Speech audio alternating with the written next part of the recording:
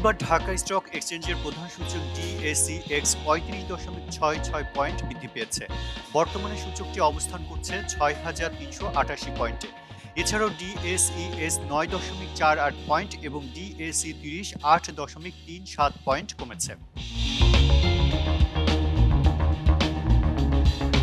সূচকের উত্থানের সঙ্গে ডিএসইতে লেনদেনের পরিমাণ বৃদ্ধি পেয়েছে। আজ এক্সচেঞ্জটিতে এক হাজার চারশো একষট্টি কোটি সাতান্ন লাখ টাকা শেয়ার ও ইউনিট লেনদেন হয়েছে। বুধবার ঢাকা স্টক এক্সচেঞ্জে লেনদেনে অংশ নেওয়া কোম্পানিগুলোর মধ্যে দুইশো ষোলোটিরই শেয়ার দর অপরিবর্তিত ছিল। দর কমেছে মাত্র একচল্লিশটির। বিপরীতে একশো তেরো কোম্পানির শেয়ার দর বৃদ্ধি পেয়েছে।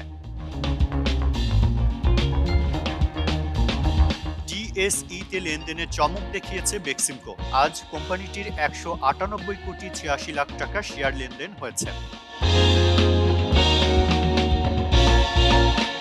লেনদেনে অংশ নেওয়া কোম্পানিগুলোর মধ্যে দর বৃদ্ধি শীর্ষে উঠে এসেছে দেশ জেনারেল ইন্স্যুরেন্স। কোম্পানিটির শেয়ার দর আজ দশ শতাংশ বৃদ্ধি পেয়েছে। অপরদিকে সর্বোচ্চ দরপতন হওয়া জে এম আই সিরিঞ্জের শেয়ার দর কমেছে পাঁচ দশমিক এক এক শতাংশ।